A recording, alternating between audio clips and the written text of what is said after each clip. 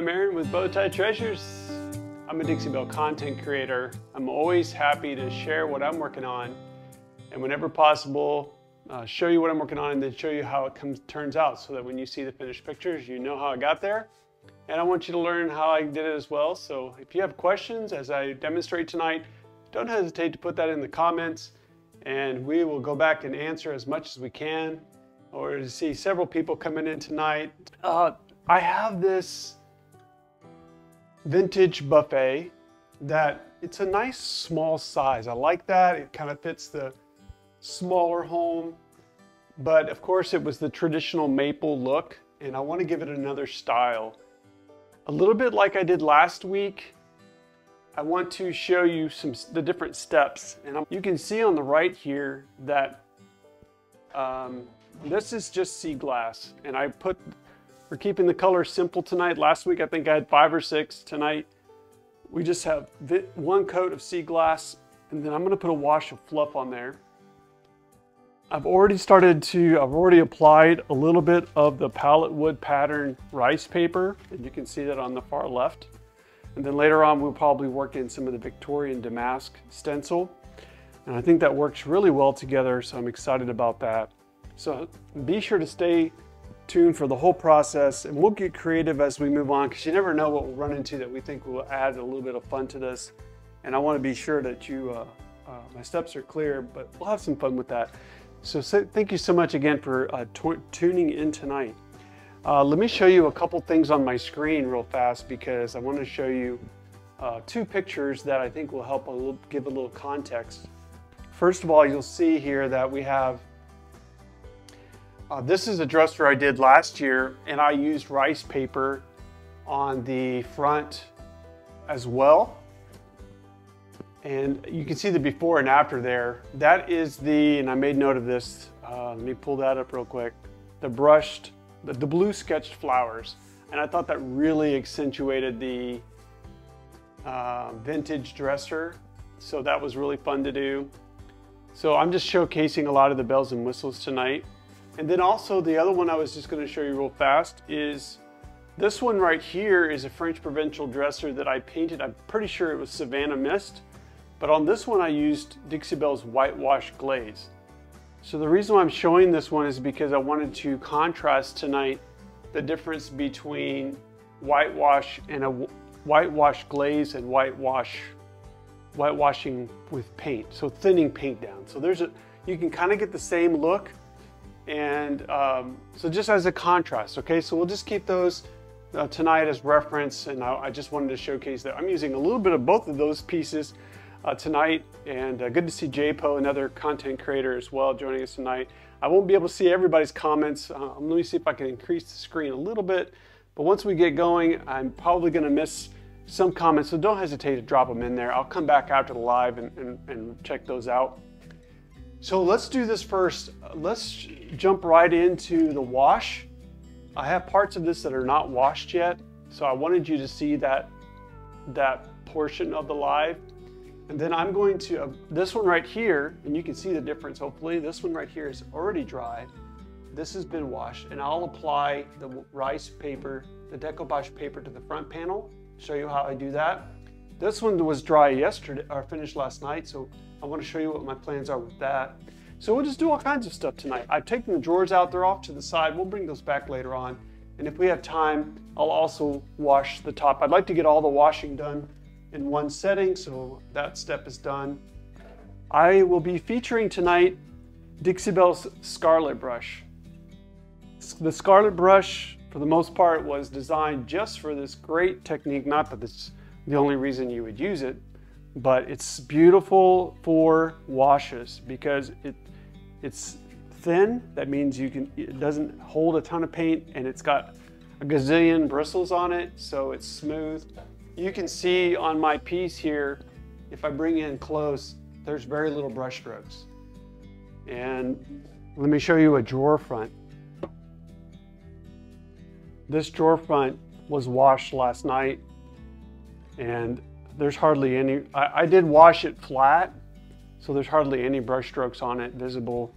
It just, if it's wet enough, it's gonna settle really nice. If it's too wet, it's gonna drip. So you gotta have a fine balance. And I will say for the record that I unfortunately can't give you professional chalk paint advice on exactly the best ratio. I will admit that I wing it all, all the time, and if you know what I mean, because you probably do the same, you're just looking for a good consistency that isn't too wet and it's not too thick. If it goes on really, like, I'm gonna say dry, but too hard, it's not wet enough, I probably would say it'd be two parts water, one part chalk paint, but I'm, again, I, I rarely measure, I just kind of wing it. Um, I don't know if I could show you the inside of my container, but I haven't mixed it up yet and I need to do that. So I picked a big container, one because I had a lid for it, but two, I, yeah, because I had a lid for it. So I'm, I'm reaching into my container right now and I'm just mixing the paint up because usually what will happen is the heavy particles drop at the bottom. But do I have any uh, suggestion as far as um, should it be freshly mixed? I don't know. I'm, I'm reusing it from last night. We should be okay. But last night I was really happy because I, I winged it and I nailed it. Just kind of made it up. But usually if it looks like thick paint, it's not wet enough. So this is a wash, okay? Here's a uh, drip test. How about that? There's, that's how wet it is. Can you use other brushes other than Scarlet? Yes whatever, we'll get it on there. But I love how wide it is. It's great for the top. And um, sometimes when I'm doing wash, if you watch a lot of my lives, I'll even use things like a sponge or a rag to kind of dab and create some texture. Didn't do any of that here. Remember that picture I showed you of the French provincial dresser? That was straight, just wash. I didn't do any dabbing or texturing. It's just really a nice, lovely look. So I'm just going to demonstrate that for you. If you're doing a wash, you don't need the mister bottle. I'll put that off to the side. But as a reminder, the colors are rotating at the bottom of the screen throughout the live tonight. But pretty simple tonight, two colors, sea glass and, and fluff. You can do whatever color combination you want. It could be vintage duck egg and cotton. As long as one color is much lighter than the other, you should be fine. Uh, I do have a rag handy in case I, make a mess, and I'm sure I will because I wiped plenty of um, drops off the floor last night. It's the nature of working with a wash. Okay, so I'm gonna do my best to keep the camera up close. Just looking for places that need the wash. You know, if you wanna get underneath the lip, that's fine. Uh, I do, I forgot, I do like to keep my rag handy because like this brush, since it is so wide, I might get on the lip and I'm not ready for that part yet or you might miss, just get it where you need to get it. If you get too much, get it while it's wet, because once it's dry, you're gonna be rubbing a little harder to get it off. After all, it is chalk mineral paint and it's very durable. The brush holds a lot of paint, so I can, can put it in a lot of places, so I'll go back in there. Just looking to make sure I cover it. Remember, I'm not going to touch it unless I need to fix it or wipe it off. I'm just letting the chalk paint, the wash, chalk paint wash, just do its job and be soft. It'll dry a little light, you know, nice and know, pastelly. I just pastelly is an official word. I mentioned in the title of the live that I'm doing I called it a soft spring cottage look. I feel like the decoupage that I'm using feels cottage and so does the damask stencil, but I really think that the, the soft look is really lovely. If any of that doesn't make sense, please let me know and I'll be happy to. I may have to go back and describe it in chat, but not a huge fan of getting on the floor, but that's where we are tonight. So let me see if I can get my camera that far. So this is the real real life studio work. But I really didn't want to do, I wanted, I wanted to keep this real and keep it, this is how I apply, apply it.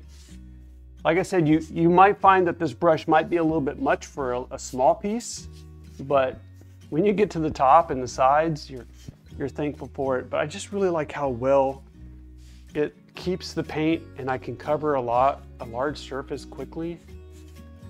This won't take us a long time to do. What you're really looking for is you're not looking for, you don't want any buildup of paint. And you're moving fairly quickly, but it's not gonna dry fast. So don't feel like, see like right there, it's still wet. I could touch any of that part. You might also look for any buildup, like it starts to build up towards the bottom. Yeah, see, I'm already making a mess on the floor. Gotta get my drips. So you might uh, just keep an eye on it. You know, you can always run a paper towel along the bottom and sometimes it'll catch that buildup without wiping off the piece. What I really love is that when it's done drying, it, it, it gets into the crevices and the cracks and it really is a nice look. So that French Provincial I showed you with the Savannah Mist and whitewash, very popular piece, sold quickly. It's a great look. Um, probably one of my top Pinterest pieces I have. And it's not because I research trends, it just, you do it and you go, wow, so people love it after all. What's not to love, right? But still, that's a great way to evaluate your work is, you know, do other people love it as much as, or more than you think they do or should or whatever. Okay, now here is a situation where the drawer is set into the cabinet, so I have to pull it out. And same idea, just apply that glaze. And it's so forgiving that it doesn't really matter so much if you're going misdirections like this, but just smooth it out. Light touch, light hand, get it on there, and then smooth it out. You can use the side of the scarlet. You don't have to always use the end. Then just smooth it out. And then I can put it back in and it'll dry just great. Nothing should be touching in there. So again, I'm just looking for anything that's looking funny, like it's, I put too much and it's building up and I don't want that. So once you've done that, you should be able to move on. Let's do the side. Once we're done with this two parts, we were we'll go to the decoupage paper. I'd like to showcase that as well. Dixie Belle is here, so they're definitely helping answer some questions. I appreciate that. So we'll do up underneath. Just get that on there. I will tell you, if you've never used glaze before, glaze has some built-in top coat properties. So when you're done putting a glaze on, you almost have already protected it where chalk paint like I'm using right now, it's going to feel chalky because it's chalk, you know, chalk mineral paint. So you'll want to still uh, wax or top coat it. I use, I like clear satin or clear top coats or my preference. You see how I'm, let me describe what I'm doing. I'm just getting the paint on like right there and then just smooth it out. Let that scarlet dense bristle count. Light hand, not pushing hard, just smooth it out. Remember, if it's dripping really fast and it's not putting a lot of paint down, you need to add more paint to your mix. So if you, this is a good side, this would be a good place to start. If you feel like it's not working out, you could quickly wipe, wipe it off with the damp rag or practice on a practice board.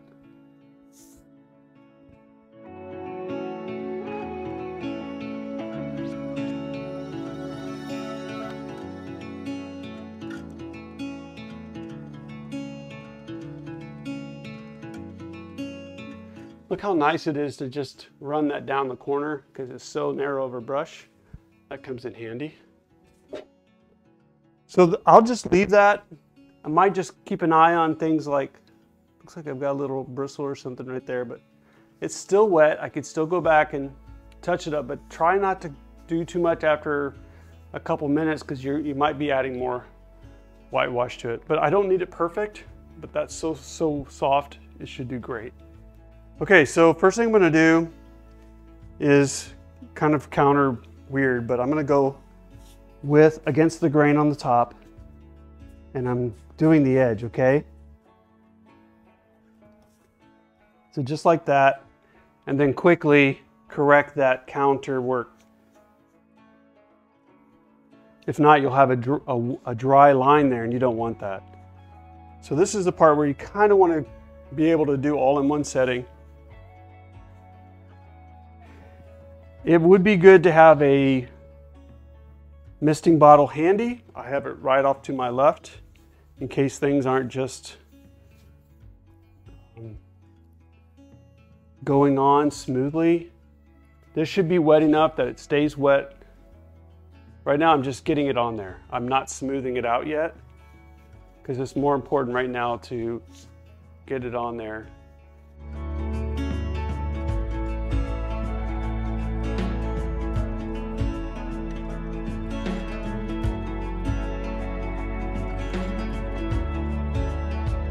Okay, so here's the, call it the money move. So nice long strokes, you see that? One side to the other. If you have to take a step, take a step. Try to get it straight. I'm not perfect at this. If it's really wiggly, it may dry wiggly. Just do your best to get it somewhat straight. Because it's so wet, it will settle down, smooth out, blend in. You shouldn't have as many strokes. I'm gonna come to the front, see if I missed anything.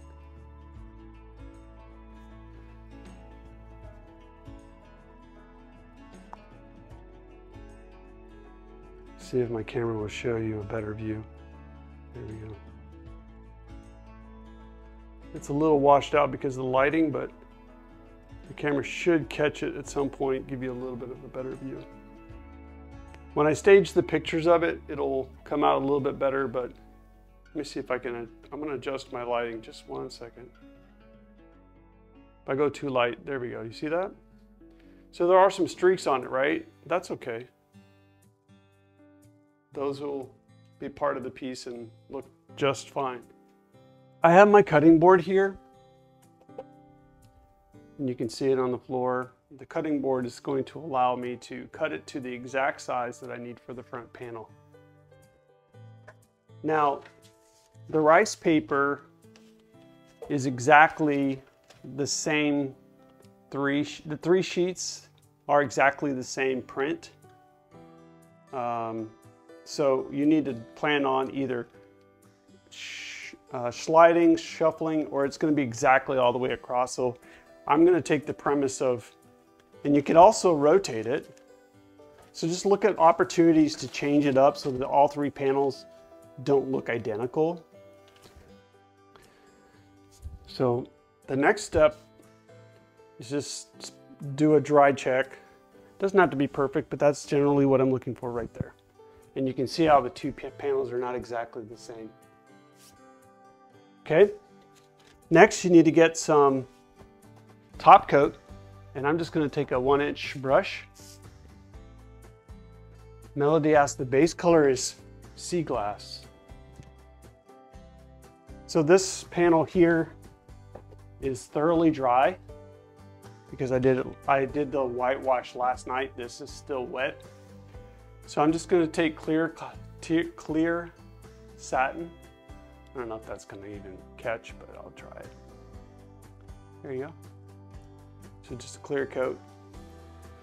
And I'm going to paint mostly in the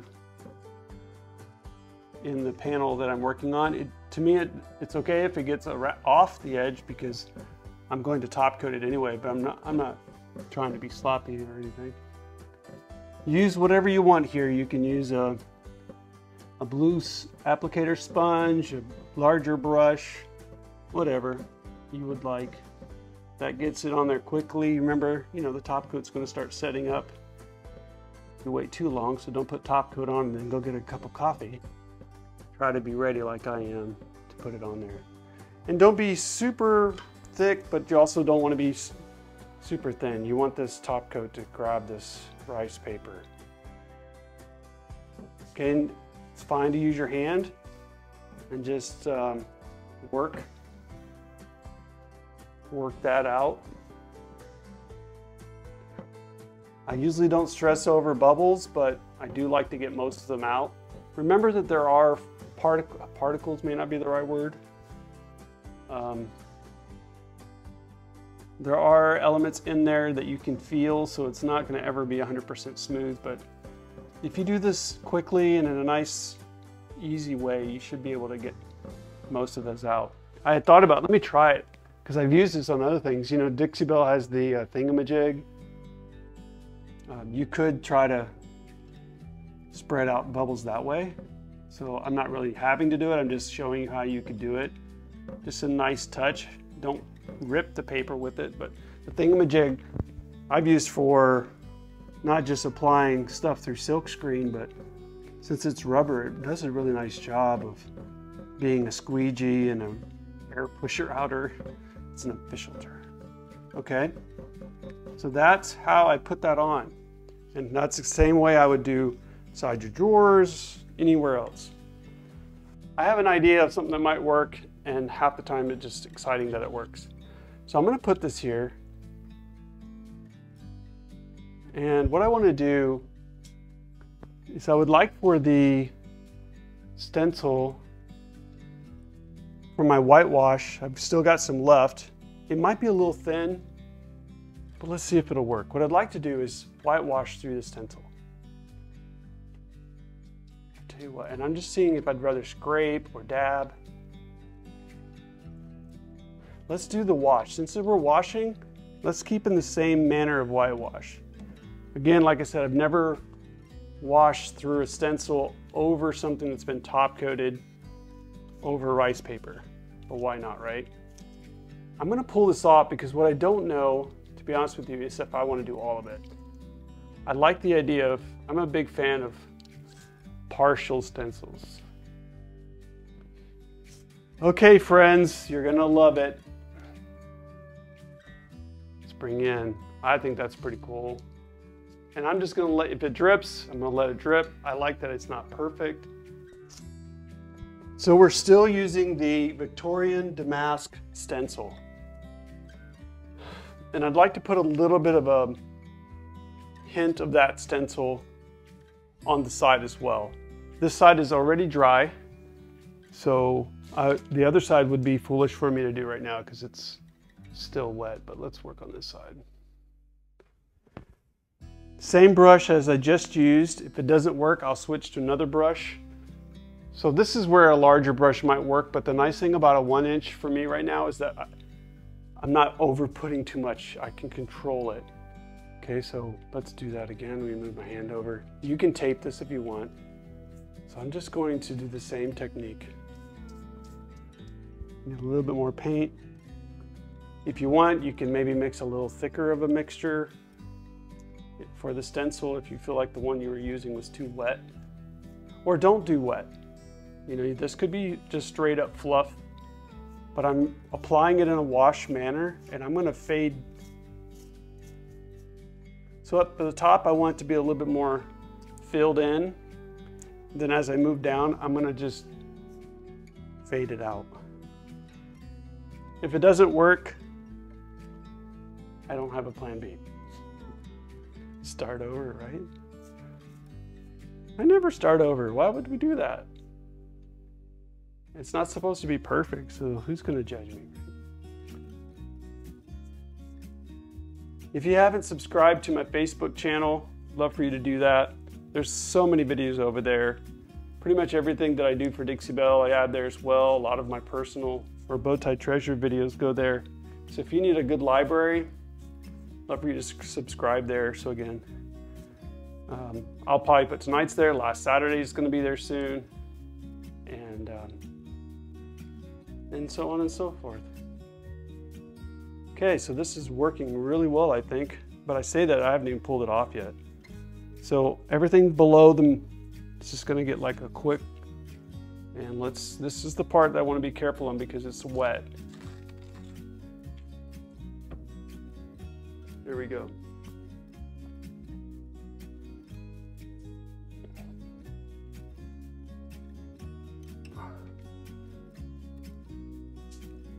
Now what I'm going to do because the what I rarely do on my stencils like that is I rarely go to the edge and I didn't even think about that. So what I'm going to do is I'm actually going to erase.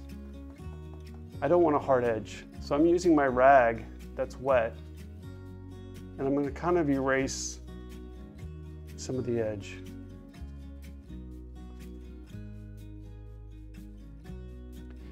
And if you want texture, you can dab this. And I think that's gonna help me. Just move your rag around or you'll just keep putting more of the fluff on there. So what I'm actually doing is I'm lifting some of the buildup of the wash and I'm adding texture to it. I want this to feel worn. And my damp, damp rag's doing that. So let me just, again, you can see me kind of erasing. And that's making a big difference. Can get a little closer in there.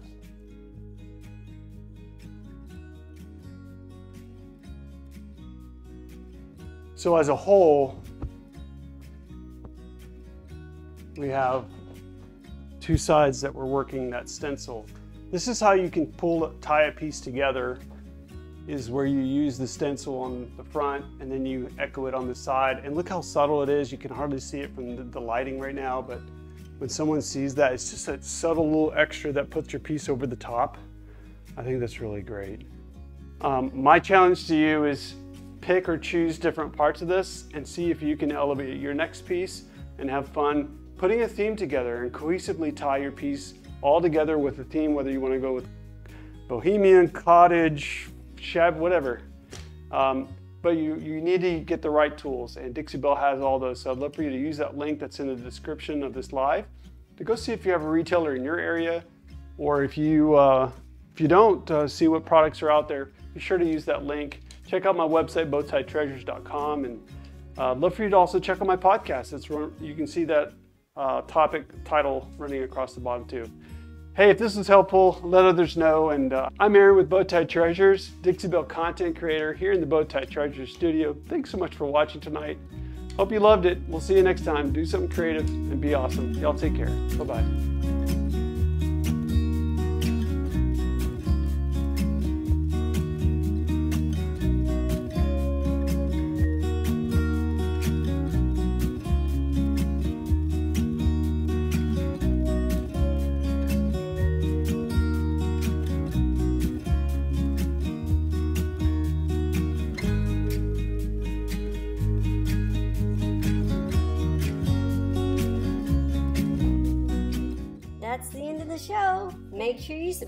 and ring the bell before you go.